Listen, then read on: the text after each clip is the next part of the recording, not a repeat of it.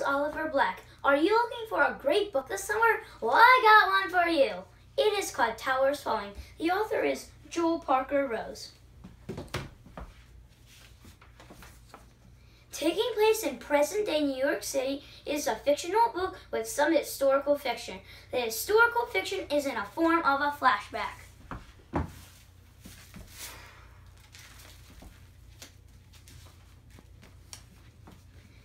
These are the Twin Towers on September 10, 2001, a day before the attacks. This is a perfect book for 4th and 5th graders because the main characters are 10 and 11 year old kids. Their names are Deja, Ben, and Sabeen. The book is about family, friends, and relationships. Here's a diagram of what family and friends look like.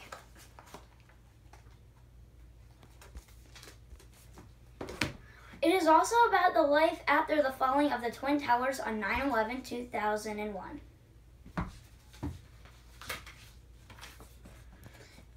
This is what the Twin Towers look like on 9 11 after they were hit.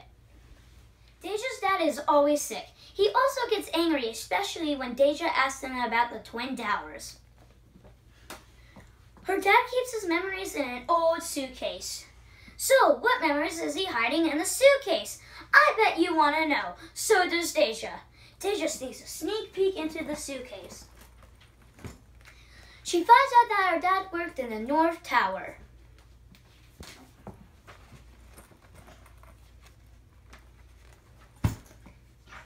She also learned that he was at work on 9 11 and survived the attacks.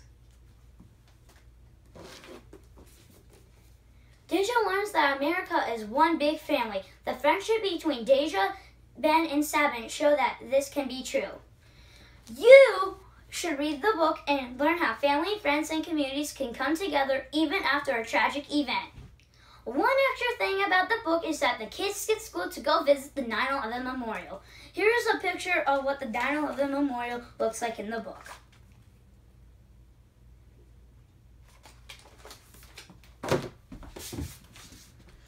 Here's a picture of me visiting the 9-11 Memorial, not skipping school. You should really read this book. Available at Barnes & Noble and Amazon.com.